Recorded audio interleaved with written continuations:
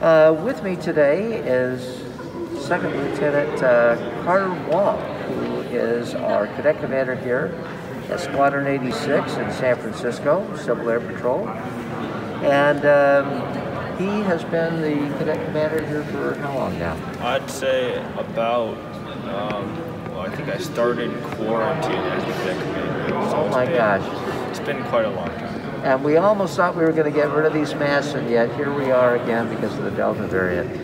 So, um, we're talking today about the High Altitude Balloon Challenge through Civil Air Patrol, which is being conducted by Stratostar. And uh, there's going to be a number of uh, experiments that are going to be in a control capsule and a flight capsule that is going to be launched somewhere out in the Midwest. I think it's uh, Indiana. And uh, the cadets have come up with a number of different experiments, and they have also come up with a mission patch. And uh, Lieutenant Kamal, could you explain about our mission patch that uh, the cadets voted on? Sure.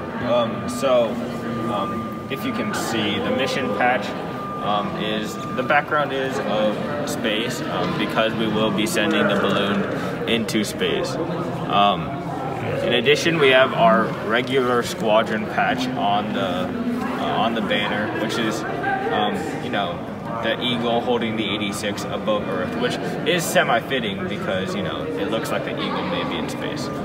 Um, we also have uh, the 2021 Stratostar 0436, um, and that's just uh, what the mission is.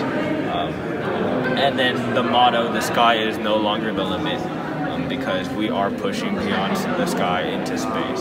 And can you tell me about the squadron's motto? Sure. The squadron's motto is excellence in action um, because one of the core values of Civil Air Patrol is excellence. Um, and as Squadron 86, um, as a cadet squadron in, um, in San Francisco, um, we try to exhibit that core value in everything we do, in addition to the other core values. But uh, really, we try to show excellence in everything we do. Um, and so we are excellence in action. Well, it sounds like participating in this high altitude balloon challenge certainly is excellence in action. I do believe that's correct, sir. So the first uh, experiment is has to do with batteries, just simple AAA batteries. Uh, Lieutenant Wong, can you explain what this experiment is about? Sure. Um, so, like uh, Captain Nadeau said, um, we I do have two AAA batteries here, um, and we're going to keep one on the ground as a control, um, kind of a control example, um, and we're going to send the other one in the balloon into space. Um, and so, before we do launch the balloon, we'll measure uh, the circumference of each, and we'll measure the voltage of each, just to make sure that um, we don't get any off data. And then when we verify that they are the same battery and that there are no differences, uh, we will send one into space um, to measure if it affects the voltage or if it affects the size of the battery. Right, and so what type of um, changes or uh, environmental uh, differences would you expect uh, that might change a battery's performance up in space? Um, in space, I expect the pressure to be a lot um, be a lot lower, and I do expect it to be a lot colder as well. Right, so the temperature would be another factor. Okay. Well, I'm interested to find out the results of that experiment. I, I do too, sir. Uh, so with me now is uh, Cadet Staff Sergeant Emily Liu of Squadron 86. Uh, Emily, are you the Alpha Flight Sergeant? Is that right? Well, yes, a Bravo flight sergeant. No. Bravo Flight Sergeant. Okay, very good. Uh, and uh, Emily has in her hand uh, the next experiment that is going to go up in the high altitude balloon. Uh, tell us what you want to do with these marshmallows. So we're basically gonna like send them to like the border of space. So we just want to see like with like the low pressure and the like super cold temperatures and how these marshmallows would react when they come back down. So, uh, pull out a marshmallow for me, uh, just so everyone can see. They're kind of squishy. Uh, why is that? Probably the way they were made, right? The marshmallows are just known to be squishy and super like airy and fluffy. Just even So I noticed on it. the package it says jet puffed. So you think there's uh, quite a bit of air inside the ingredients? Is that you would assume so, yes. So the lack of pressure could cause it to expand. that's what we're. That's our hypothesis. Yeah. Very interesting. So it'll be interesting to see what happens when we get back on the ground. Uh, tell me, are you going to do a taste test after it returns back to Earth? I don't even know if that's safe, but if it is, most definitely. Okay, very good. Well, Sergeant Liu, thank you so much for spending time with us explaining about this experiment. thank, you. thank you, sir. Now is uh, Cadet Master Sergeant Ansley Wong of Squadron 86. Ansley, uh, what's your position here in the squadron? Um, I'm the Alpha Flight Commander. Excellent. And uh, how long have you been the Alpha Flight Commander? Um, I'm not really sure, like a few months, maybe. Very good. Well, good for you. Uh, so Ansley is going to explain about another experiment that we're going to be sending up in our uh, flight capsule. Ansley, what have you got in your hands here? Um, I got some brine shrimp or uh, sea monkeys. Yeah, I've always thought they were sea monkeys. What What is a brine shrimp? Um, they're these little pre- prehistoric sea creatures, and they're in here. And you uh, put this in water, and they come alive. Interesting. Um, so, approximately how old do you think these sea monkeys go back uh, in history, in Earth's history? Well, they're prehistoric, then cou- probably a couple million years. Yeah, in fact, I've read somewhere it might be as much as 300 million years. Does that sound right? Um, yes, sir. Okay, all right. So, um, we're going to put uh, some that, before we put it in water, into a control capsule and then some into the flight capsule. And then when we retrieve them back, we're going to add water and salt. And we're not sure what's going to happen um, to the one that went up in the flight capsule, but we fully expect the one in the control capsule to come alive. Uh, what do you think is going to happen? Um, I, I don't know if the thing in space will, or it might affect it because it's really cold up there, so it might affect the living conditions. But I mean, they survived this long, so I, I don't know. see what happens. All right. Well, I look forward to seeing the results of this, and uh, I'm sure you'll be uh, there to to see what happens. Oh, by the way, I want to ask you, how small are these things?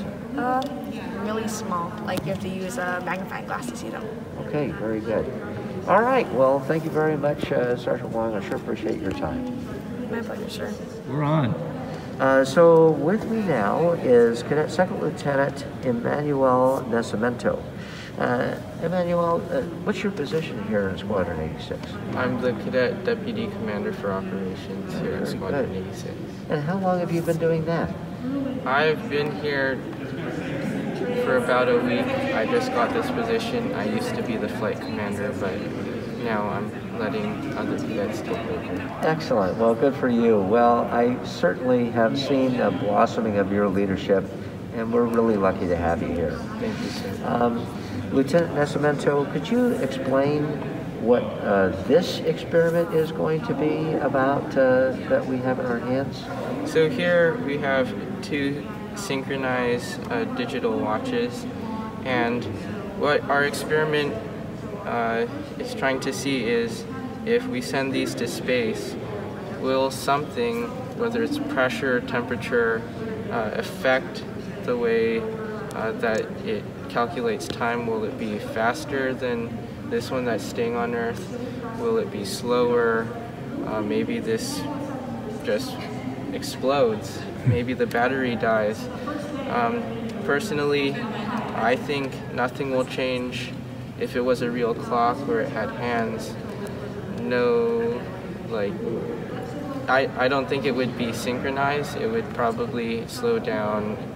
Something with the pressure would change, um, but this is definitely an interesting experiment. So let me ask you, uh, do you think it's uh, theoretically possible that the watch that stays on the ground might be different than the watch that goes up to the near space altitude because of the difference in the, the, the distance from the center of gravity of the Earth? Hmm. I personally think it would have to be, again, a regular big old clock uh, for it to change.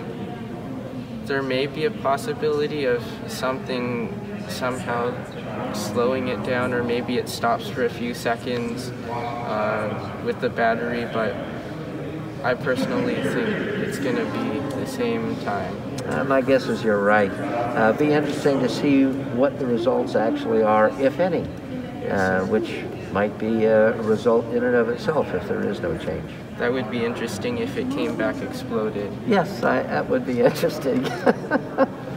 well, Lieutenant Nascimento, thank you very much for your time, and uh, I'm sure you'll be here when we get the uh, capsule back from uh, outer space. Yes, sir, and thank you for having this experience. Thank you. Interesting. Thank you for being here for this.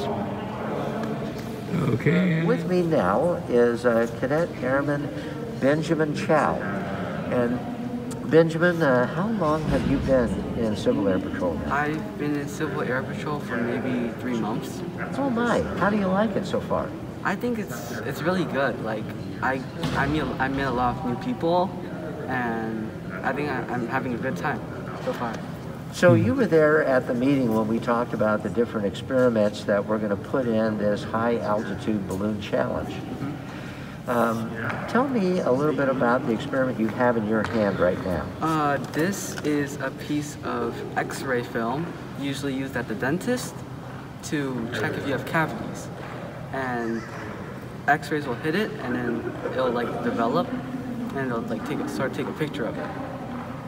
And we're gonna have two of them. One of them's gonna be the control, and the other one's gonna be sent to space. And we're gonna see how the radiation in space affects the X-ray film because um, yeah, we're just to see how a different environment in space is to change it. Do you think there's to be enough of a difference that it might show up on the film after we develop it? I think it might show up a little bit, but not like too much. But we'll have to wait to see. Okay, very good. So uh, I have to ask you, um, how did you guys come up with the motto for this mission? Uh, did you vote on it, Uh, or well, the motto is the sky is no longer the limit, and you know there's like a popular um, what, what do you idiom, and it's like the sky's the limit, meaning like oh no matter like we can you can do anything, the sky's the limit, and then here we're saying the sky is no longer the limit, meaning we can do more than anything, we can do pretty much everything we want. excellent? And the last question I have for you is, what is the Squadron 86 motto? The Squadron 86 motto is excellence in action and excellence in everything we do. Excellent. Well, I have to say I'm very proud of you, and thank you so much for spending time explaining about this experiment. Uh, I'm sure we'll have a lot of fun uh, finding out what the results are.